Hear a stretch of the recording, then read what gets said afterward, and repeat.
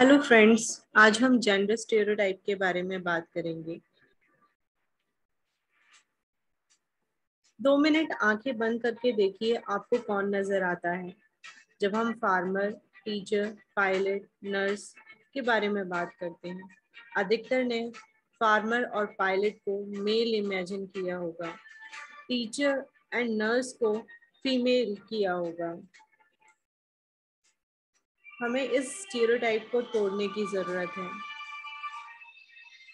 Empower women educate women thank you